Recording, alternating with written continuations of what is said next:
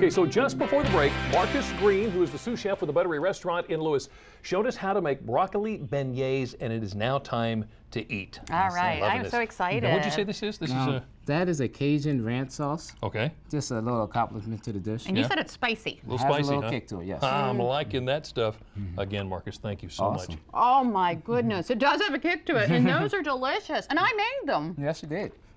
A little help from him. Very little bit. Thank you so much for watching Delmarva Life. Now, tomorrow, Wounded Warriors are getting help with some pretty incredible technology. You're going to see what looks like a video game actually helps with rehabilitation.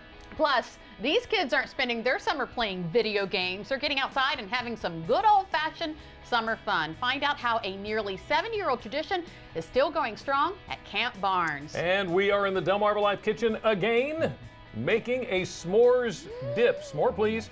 Delmarva Life, life at its best here on Delmarva. Now, don't go anywhere. WBOC News at 6 starts right now. I got a double dip. I'm sorry. Oh, sorry.